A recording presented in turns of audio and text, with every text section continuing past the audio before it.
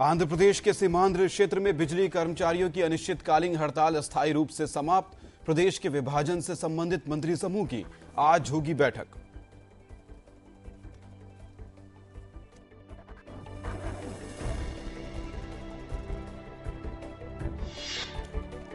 ओडिशा और आंध्र प्रदेश के तटवर्ती क्षेत्रों में ज़बरदस्त समुद्री तूफ़ान फालिन के बारे में हाई अलर्ट जारी किया गया। तूफ़ान के समुद्र तट पर कल पहुँचने की है आशंका।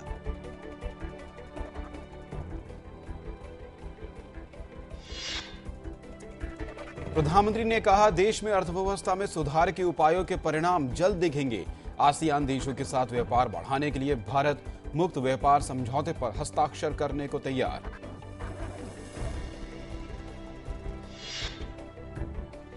कांग्रेस उपाध्यक्ष राहुल गांधी ने कहा कि सोनिया गांधी और प्रधानमंत्री हैं उनके राजनीतिक गुरु। कांग्रेस ने कहा कि आगामी चुनाव में राहुल को करना चाहिए पार्टी का नेतृत्व।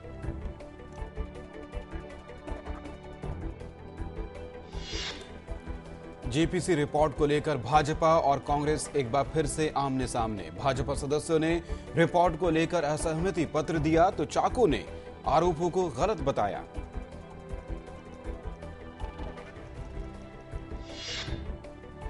गुजरात पुलिस ने आसाराम की कस्टडी मांगी है। आसाराम और उनके पुत्र के खिलाफ यौन उत्पीड़न की शिकायत के सिलसिले में होगी उनसे पूछताछ।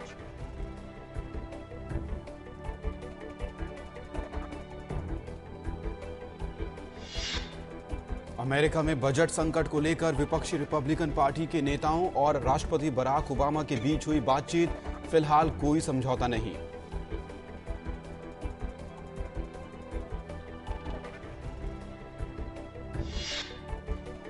अपहरण के बाद रिहा हुए लीबिया के प्रधानमंत्री अली शेदान कल सुबह होटल से हुआ था उनका अपहरण। रिहाई के बाद देश की जनता को किया संबोधित।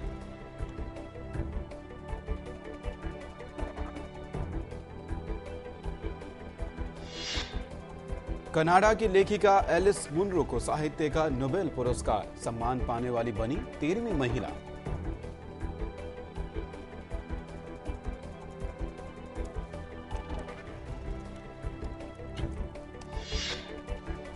पाकिस्तान की मलाला यूसुफजई को यूरोपीय संसद के प्रतिष्ठित सखारूब मानवाधिकार पुरस्कार से किया जाएगा सम्मानित। लड़कियों की शिक्षा की हिमायती मलाला पर हुआ था आतंकी हमला।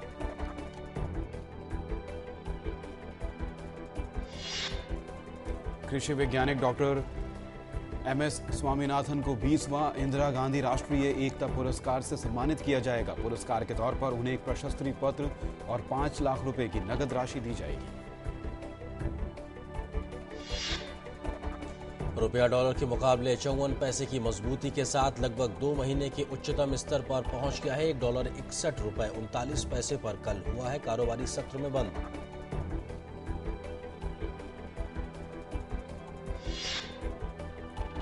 देश के शेयर बाजारों में गुरुवार को तेज़ी देखी गई। सेंसेक्स में 24 अंकों और निफ्टी में 14 अंकों का आया उछाल।